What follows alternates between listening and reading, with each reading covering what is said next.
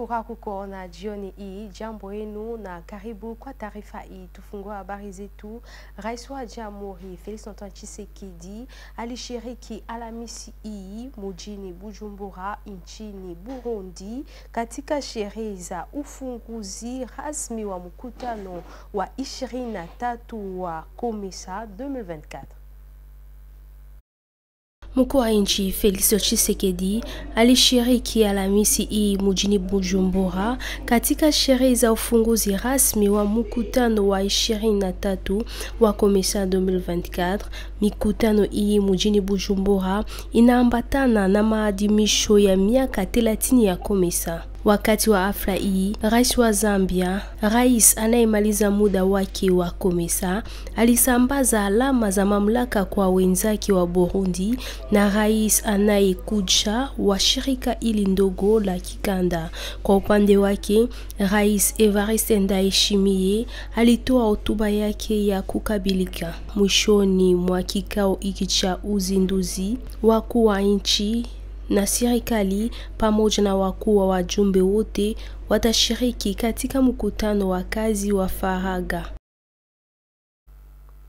Mkataba wa makubaliano wa kuanzisha tume ya pamoja ya kiufundi kuhusu masuala ya paka kati ya Jamhuri ya Kidemokrasia ya Kongo na Sudan Kusini ulitiwa saini Jumatano tarehe 30 Oktoba 2024 huko Juba, mji mkuu wa Sudan Kusini. Naibu Waziri Mkuu Jacquemain Shabani aliwaalika wataalamu wa Kongo na Sudan Kusini kufanya kazi za kuweka mipaka ya pamoja. Kinshasa na Juba zimeweka kupitia mkataba huyu wa maelewano mbinu za pamoja kutatua matatizo yao.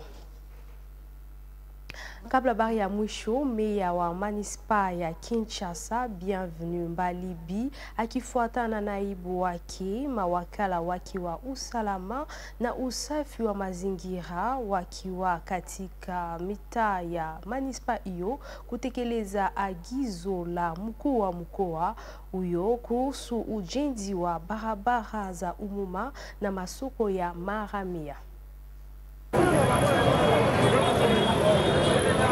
Kutatua matatizo ya msongamano wa magari katika jiji la Kinshasa yanayotesa wakazi. Serikali ya mkoa wa Kinshasa ilikuwa imewataka wakazi waliojenga barabarani na wale walioanzishwa soko la mahamia kuondoka kwenye uwanja wa umuma ili barabara za jiji zima ziachiliwe na kuhakikisha mzunguko mzuri wa magari. Kuhusiana na ili, meya wa manispaa ya Kinshasa Bienvenu Mbalibi akiandamana na naibu wake majenti wake wa usalama na usafi wa mazingira walikuwa katika mitaa ya wilaya kutekeleza agizo ili waliwafukuza watu wakabomoa majengo ya makaidi wote kwenye barabara ya serikali. Kwa gavana wa jiji la Kinshasa, ni vyema kuwafukuza wauzaji mama kwa ajili ya udhibiti wa barabara, lakini ni bora zaidi kuwatafutia mahali ama kujenga. Habari ya mwisho, meya wa manispaa Selembao Matias Woumu alitembelea wilaya tatu wa manispa hii, hasa wilaya ya Miambi, Liberation na Ngavani Jumanne hii tarehe 29 Oktoba. Meya wa manispaa ya Selembao Matias Womumu alifanya ziara mnamo Jumanne tarehe 29 Oktoba, kutoka ambapo alitembelea wilaya tatu za mamlaka yake ambazo ni wilaya za Miambi, Liberation na Ngavani. Meya alipofika katika wilaya ya Liberation alizungumza na mkuu wa wilaya, viongozi wa mtaa pamoja na wakazi wa wilaya hii. Lengo la asili yake lilikuwa ni kusoma mahali hapo ili kutafuta sehemu ya kuweka ofisi ya polisi katika wilaya ya Liberation kwa ajili ya pambano dhidi ya ukosefu wa usalama ambayo yamepamba moto katika kona ya wilaya hii. Baada ya kusoma mara kadhaa, meya alitoa wito wa utulivu kwa wananchi wake na kuzungumuza neno la kwanza kwa ujenzi wa kitongoji hiki kwa idadi ya wanaume waliovaa sare ambayo inakuwa makao makuu ya kiongozi wa manispa na siat na susiat kutafuta vipengele vya utendakazi wa susiat